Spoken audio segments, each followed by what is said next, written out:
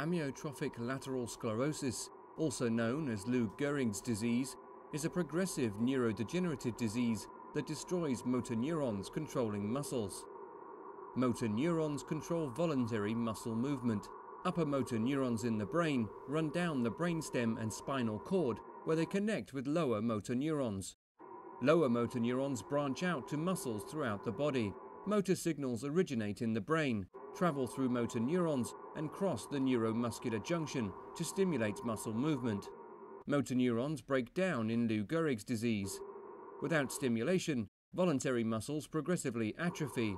As the muscles waste away in the body, the patient will experience weakness and twitches in the muscle before losing control of their limbs and the ability to speak and swallow. The patient's involuntary muscles are not affected, and most internal organs continue to function normally.